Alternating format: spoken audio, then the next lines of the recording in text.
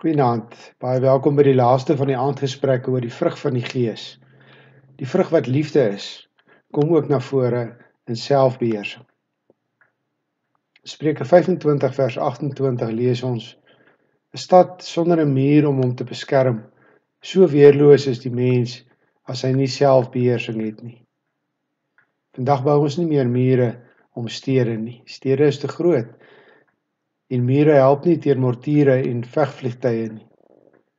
Ja, ons bou steeds mure om ons huise om ons te beskerm teen inbrekers en rowers.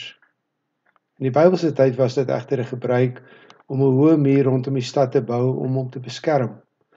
Daar was maar enkele poorte in die muur en dit kon beheer word. Wanneer die vyand die stad wou verower, moes hulle eers oor die muur of deur die muur kom. Dit terwyl die inwoners van die stad van bo van die muur af die stad beskerm het. Wanneer die vyand eers die mure afgebreek het of 'n deurgang daardeur bewerk het, was die stad weerloos en so te sê in die hande van die vyand. Dink maar net aan die stad Jerigo sonder mure. En so sê die Here, so weerloos is 'n mens as hy nie selfbeheersing het nie. So mense is blootgestel aan al die invloede van buite Hy sonder bande, hy sonder grense. Hy sal nie die aanvalle van die vyand kan oorleef of kan weerstaan nie. 'n Gelowige se lewe word deur selfbeheersing gekenmerk. Hoewel ons in Christus Jesus vrygemaak is, beteken dit nie dat ons kan doen wat ons wil nie. Daar is grense, mure om ons ter wille van ons om ons te beskerm. Soos wat 'n klein kindjie veilig binne in die mure van 'n erf kan speel, omdat die gevare buite gehou word. So kan ek in vryheid lewe binne die grense of die mure wat die Here vir my gestel het in sy woord.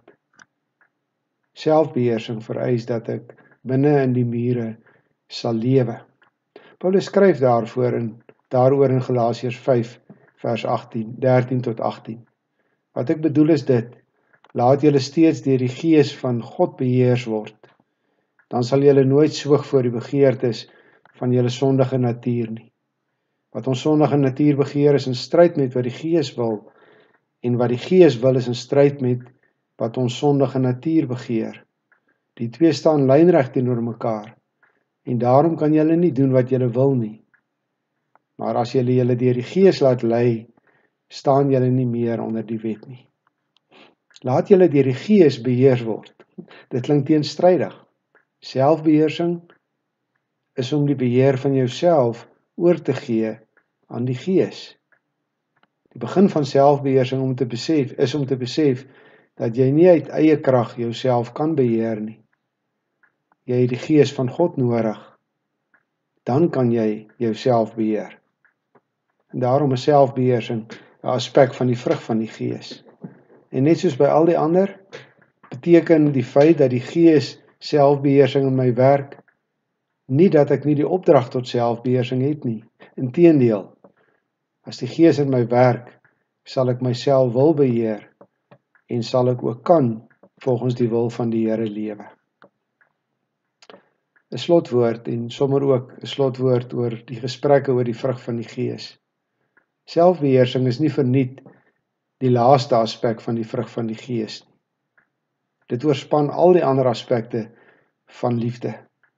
Sonder selfbeheersing is liefde soos wat dit na vore kom in vreugde en vrede, in geduld en vriendelikheid, in goedhartigheid en getrouheid en in nederigheid gewoon nie moontlik nie. Liewe broer en suster, ons lewe deur die Gees. Laat die Gees nou ook ons gedrag bepaal. Goeienaand.